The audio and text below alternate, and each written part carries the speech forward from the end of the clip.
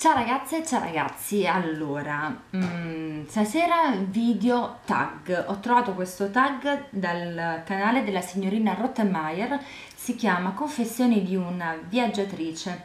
Giù dall'info box vi lascio le domande alle quali sto per rispondere e se lo trovo il video della, di Valentina ve lo lascio come link all'interno e anche nelle informazioni e mm, se avete un canale vi esorto a rispondere anche voi, se siete una viaggiatrice vi esorto a rispondere perché sono curiosa di conoscervi un pochino meglio. Se non avete un canale siete esortate doppiamente magari a rispondermi a qualche domanda all'interno dei commentini.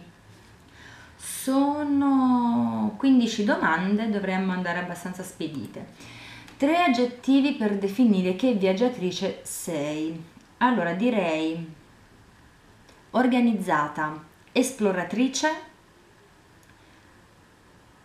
musei, barra, aree archeologiche, eccetera, molto culturale. Uh, sono una viaggiatrice che non va mai alla all'avventura, nel senso quando io e il mio fidanzato organizziamo un viaggio, cerchiamo di organizzarlo nei minimi dettagli, anche nei minimi spostamenti per evitare di perdere tempo durante le giornate di vacanza. Uh, adoro tantissimo se durante le giornate di vacanza abbiamo delle ore, tra virgolette, libere dal, dalla tabella di marcia, ci piace molto perderci camminare nelle viuzze meno frequentate dai turisti, uh, scoprire piccoli posticini, uh, sederci così e guardare il, um, la vita quotidiana delle persone, come si muove.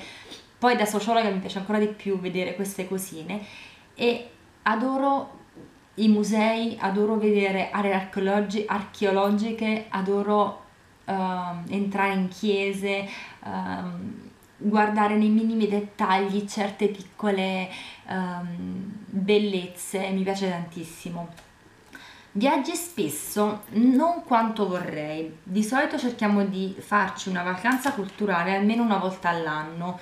Di solito cerchiamo di farla coincidere con le vacanze estive perché si viaggia più leggeri praticamente, però abbiamo anche viaggiato durante i mesi invernali. Con quale criterio scegli la destinazione dei tuoi viaggi e delle tue vacanze? Solitam- noi abbiamo dei luoghi che vorremmo visitare e stiamo cercando mano a mano di vederli tutti. Di solito facciamo una tappa estera europea e una tappa italiana. Quest'anno dovrebbe capitare una tappa italiana, dovremmo andare a Torino se va tutto bene. Um, sei mai stata in campeggio, in ostello, in villaggio? Allora, sono stata in campeggio quando ero adolescente perché mia zia aveva una roulotte qua a Marina di Camerota e quindi per una settimana sono andata in vacanza con loro. In ostello mai, in un villaggio nì, nel senso che uh, il mio fidanzato, la famiglia del mio fidanzato ha, un, ha comprato una villetta che prima era all'interno di un villaggio, poi il proprietario del villaggio, vabbè, Diciamo di sì. Vacanza in albergo, appartamento residence. Di solito bed and breakfast o comunque alberghetti che danno la prima colazione. L'appartamento non l'abbiamo mai preso e il residence nemmeno. Prepari un programma dettagliato della vacanza o preferisci improvvisare? Come ho detto prima, si contano anche i minuti. Ti definisci un viaggiatore organizzato? Assolutamente sì. Quante valigie porti? Allora, se devo viaggiare in aereo e sono pochi giorni, di solito porto solo il bagaglio a mano. Se la vacanza da, da 3 giorni diventa di 4, 5, 6, 7, eccetera, eh, di solito facciamo un bagaglio a mano a, a testa più una valigia grande che ci buttiamo il resto di tutti e due. Poi, vabbè, il beauty cerco sempre di tenerlo all'interno del bagaglio a mano. Sì. Se con alcune compagnie si può portare anche la borsa, quindi diventa bagaglio a mano più borsa. o faccio bagaglio a mano più pochette del trucco che diventa anche borsa. Quante paia di... ah no, poi stavo dicendo, questo con l'aereo. Se viaggiamo in treno mh, mm, ho una valigia di medie dimensioni, a metà tra un bagaglio a mano e una un po' più grande, così posso mettere con comodità uh, pochette le pochette del trucco, uh, non so, le borse, le scarpe, mettere i vestiti in modo più comodo, portarmi anche un cambio in più. Uh, e altre cose. Se viaggio in auto non ho freni, nel senso quando andiamo in vacanza al mare, alla casa al mare, caos.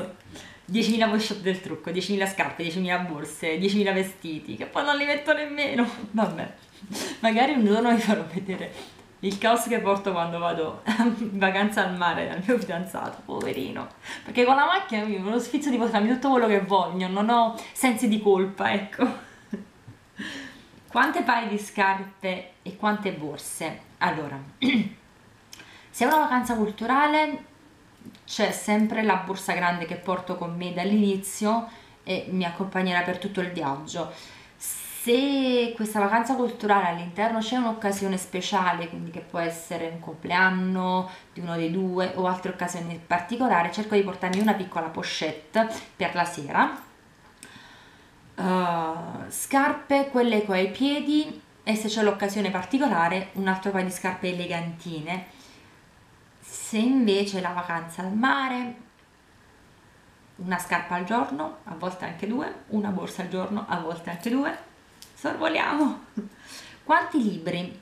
Zero. Io non sono una lettrice, preferisco, non so, musica eccetera, ma non porto libri quando ero più piccolina che viaggiavo, che tipo andavo a casa della nonna, eccetera, avevo degli esami imminenti, mi portavo i libri per gli esami, ma libri di lettura piacevole no.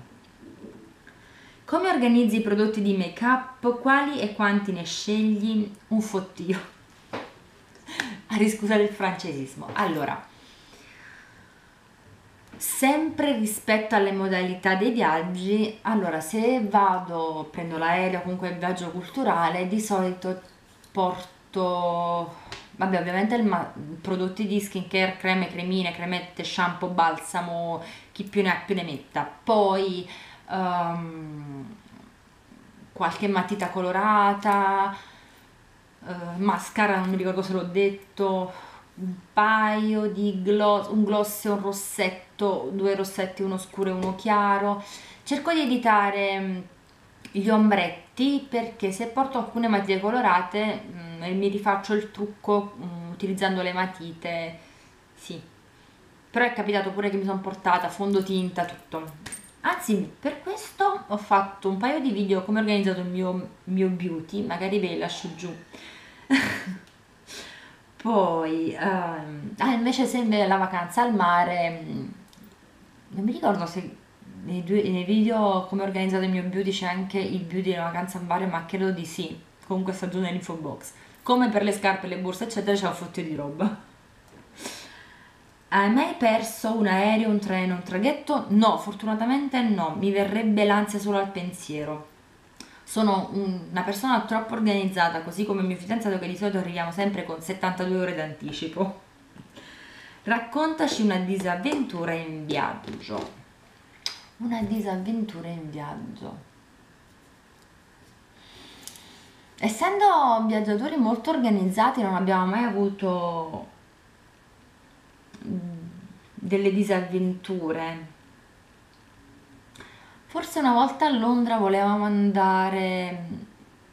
Dove dovevamo andare? Non mi ricordo, comunque eravamo molto stanchi e o sbagliamo linea di, della metro o scendemmo a un'altra stazione, non mi ricordo, comunque sbagliamo qualcosa e arrivavamo con un po' di ritardo. Io me l'ho appisolata tranquillamente e mio povero, il mio fidanzato che io mi appisolo, lui cerca sempre di rimanere il più sveglio possibile, si è un pochino arrabbiato con me perché mi ero appisolata, però vabbè, può capitare a tutti. Il viaggio più bello che hai fatto? Probabilmente non l'ho ancora fatto perché spero sempre che il prossimo sia più bello, più interessante, più del, più del precedente, invece poi ogni volta è diverso Uh, Londra sarà diversa da Parigi, Parigi sarà diversa da Venezia, Venezia sarà diversa da Firenze e tutte le altre tappe che abbiamo fatto.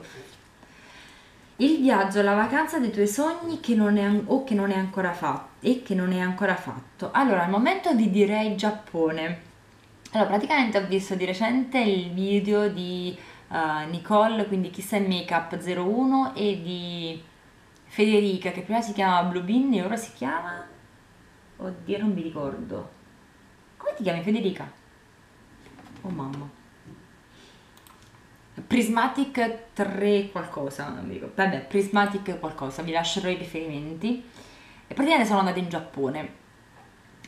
Quando ho visto i cosmetici di Sailor Moon, tutti i gadget, poi da patita, non sono una patita di manga quanto di anime, perché non, non mi piace leggere, però mi piace guardare, ho sempre guardato cartoni animati e li guardo tuttora quando ho visto quella penna liner con l'astuccetto che era la penna lunare di Sailor Moon o aggelli sono impazzita, ci devo andare anch'io.